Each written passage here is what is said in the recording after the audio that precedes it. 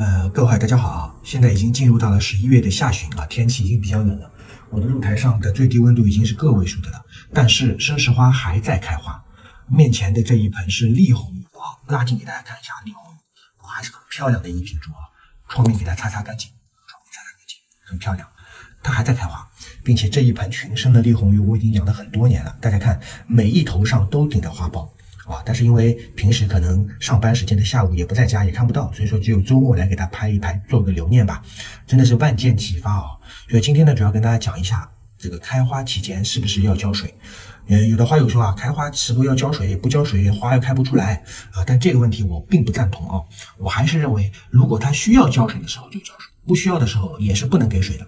大家像这一颗丽红，大家看它的侧面，几乎也是比较饱满的。像这种我就不浇了啊！再给大家看一下其他几颗，这一颗是啊我的明星啊绿光阳啊，大家看一下侧面啊，其实已经皱了，看到吗？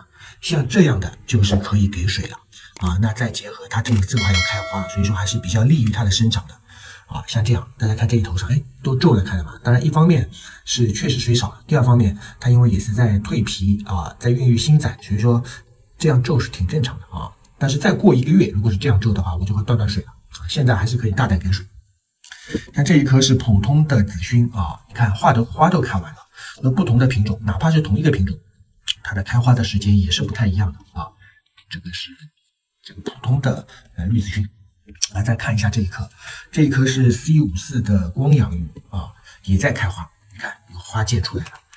再给大家看一下它的侧面啊，也是比较皱的。像这样的就要敢于给水，要敢于给水，因为一它也不徒长啊，第二它确实侧面缺水了，第三它还在开花，在这个时候你给它浇点水是有利于这个蜕皮的啊，是有利于再过一两个月之后的蜕皮的，好不好？这各位朋友啊，所以说并不是说开花期间要给大水，而是开花期间需要给水的时候要果断给，不需要给的时候一滴水都不要给。好，今天的视频聊到这，我希望大家的生石花也都能养得好，养出状态。